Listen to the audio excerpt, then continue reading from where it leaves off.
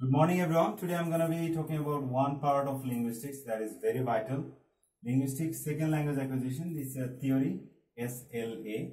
There are three uh, key concepts.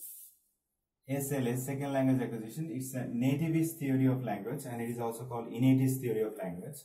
So the main concept is language acquisition is innately determined and we are born with a device that predisposes us to second language acquisition or language acquisition.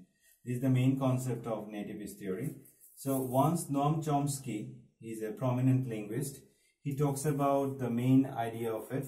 He said that every child is born with a biological predisposition. So it means every child has got biological program in them, inside their brain, in uh, both left hemisphere and right hemisphere to learn any language. So this uh, there is something in it which helps us to learn any language. This language organ is called LAD LAD that is language acquisition device. So this is the main concept. So how does it function? He shows us. First step is access to natural language.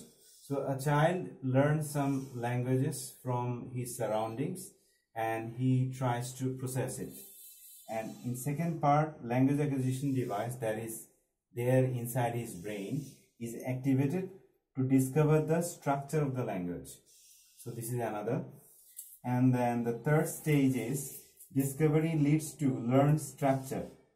So in this way he discovers the language and formulates a kind of pattern inside and he develops the language. So the whole theory comes like this. There is output, LAD and sorry, input, LAD and output.